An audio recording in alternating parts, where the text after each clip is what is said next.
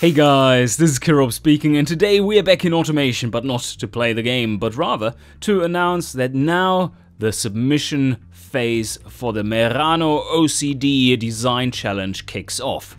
You have 10 cars to design and every single one will be scored by me and the overall winner will be decided by the sum of all those scores. And that means that you need to keep at it uh, submit all your designs and not just one because that doesn't get you far. Although you might win in a uh, in a single category then.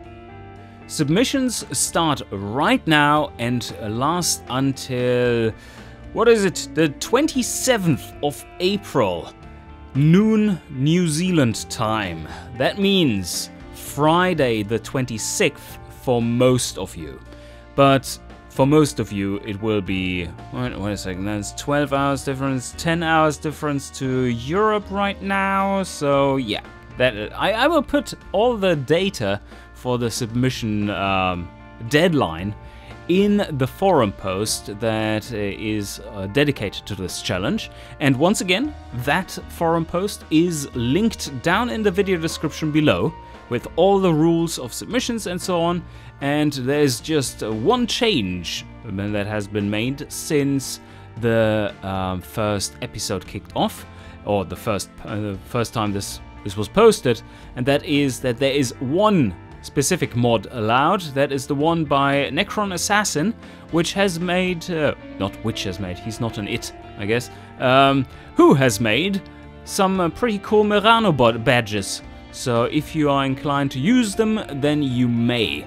But no other mods are allowed as um, the rules clearly state.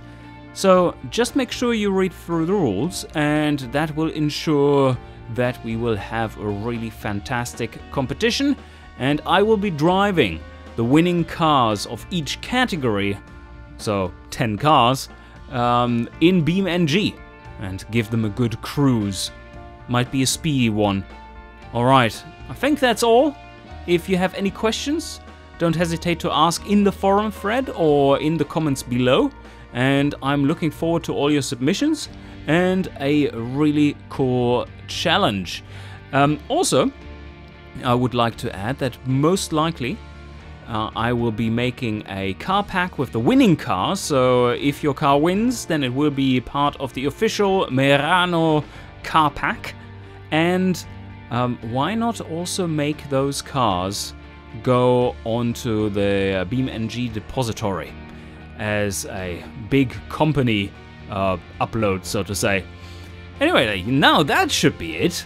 So uh, do your best becoming the Merano OCD, the official chief designer. I hope you enjoy and see you guys next time.